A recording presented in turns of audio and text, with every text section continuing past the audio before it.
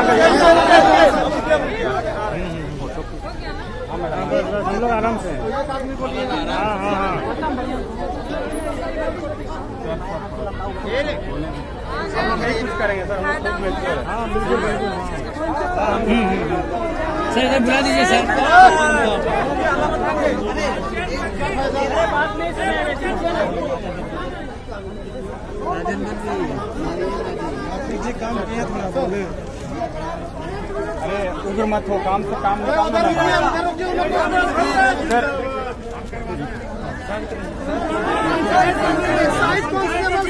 एक करके बोलो ना।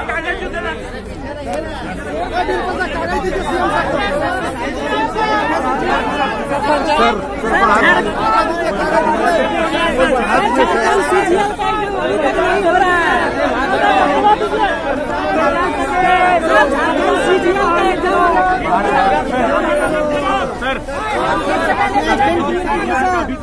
सर इसको बहुत ज़रूरी है सर। रही है। बहुत ज़रूरी है। सर एक मिनट सर। एक मिनट सर। सर एक मिनट सर। इसके लिए सर ध्यान देंगे सर तो लाइब्रेरी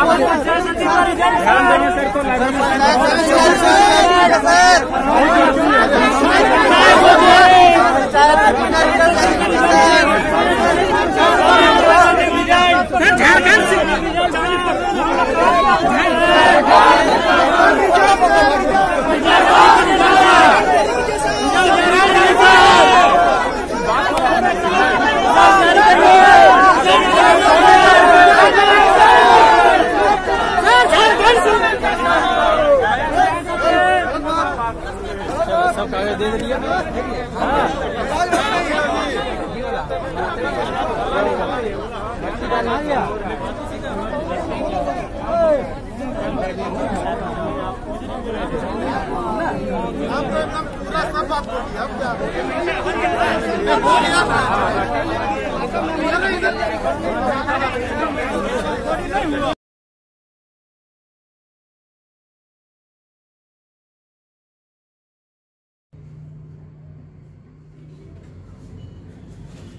नमस्कार, मैं हूँ विनय सिंह, आपका बहुत बहुत स्वागत है।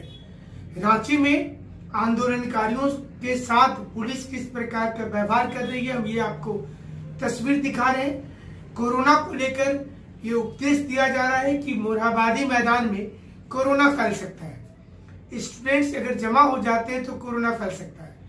आज हम आपको कई ऐसी तस्वीरें दिखाएँगे। ये तस्वीरें आज की हैं, जिससे पता चलता है कि सरकार की दोहरी मापदंड है।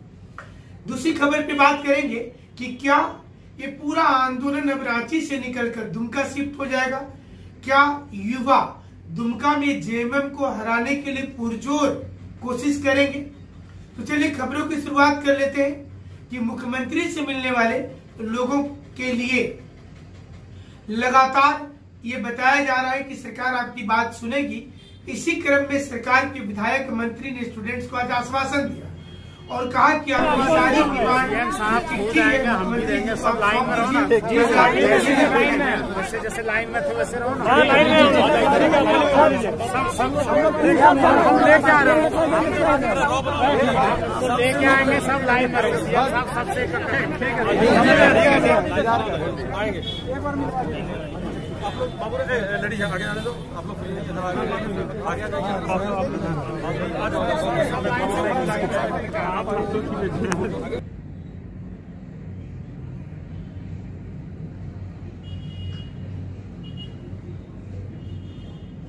तो चलिए इसके बाद आपको दिखाते हैं कि मोरहाबादी मैदान में आज दिन में पुलिस ने जो अनाउंसमेंट किया है।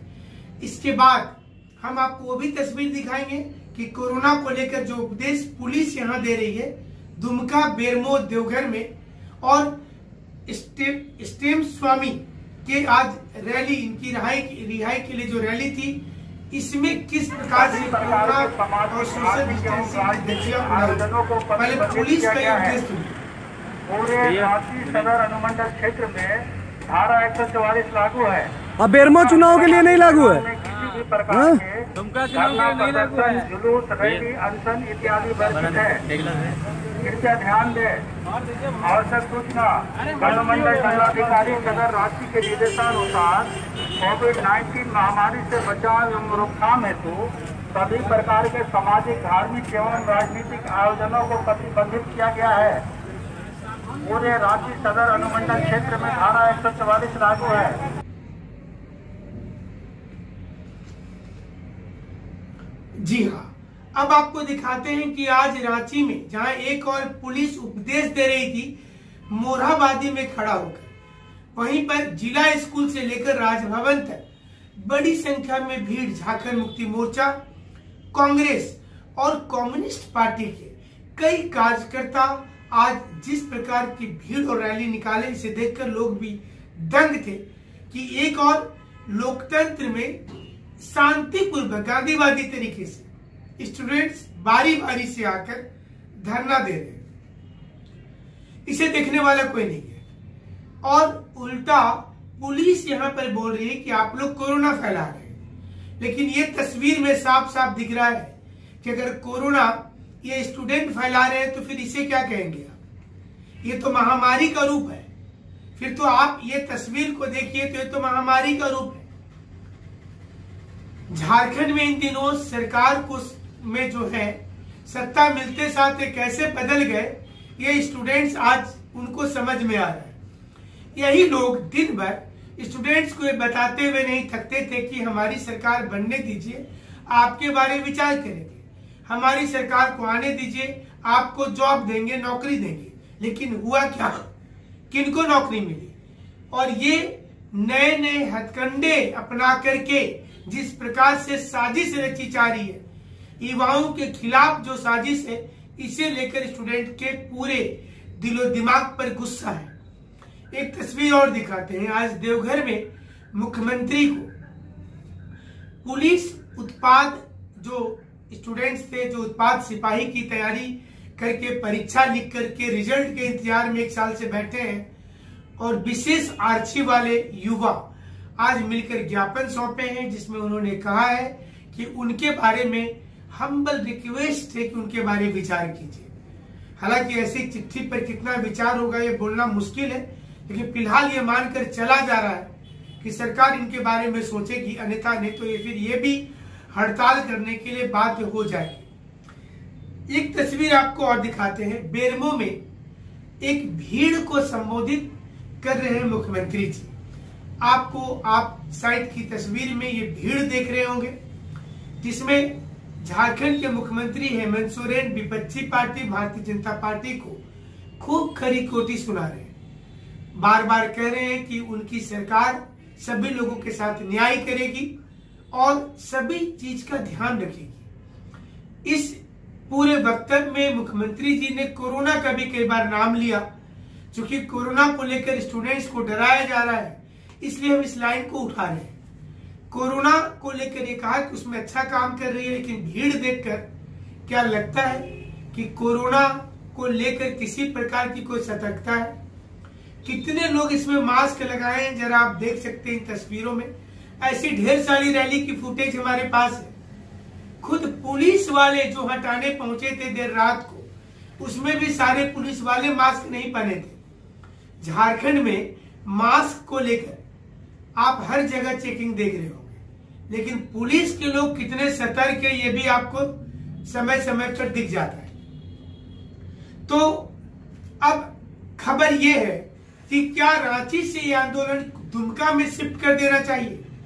क्या रांची में 144 धारा को लगाकर छात्र छात्राओं को सरकार ने दुमका आने के लिए आमंत्रित कर दिया क्या सरकार ये स्वयं से चाहती है कि छात्र छात्राएँ रांची को छोड़कर दुमका में शिफ्ट हो जाए? ये हमारा बड़ा सवाल है आज का कि क्या झारखंड में युवा को सरकार, युवाओं को क्या सरकार चाहती है कि वो दुमका में शिफ्ट हो? दुमका में आकर के वो चुनाव प्रचार करें या फिर अपने बारे में बताएँ, क्योंकि रांची में 144 धारा का आज ऐलान कर दिया गया है। तो तस्वीर हम आपको दिखाए, लेकिन उसके पहले ही यहाँ पर जो स्टूडेंट्स मौजूद थे, उन्होंने आज नवरात्रि की शुरुआत कर दी। मोराबादी मैदान के जो टेंट बना हुआ था, वहीं पर आज वहाँ से शुरुआत की गई और इसकी भी तस्वीर आपको दिखाते हैं।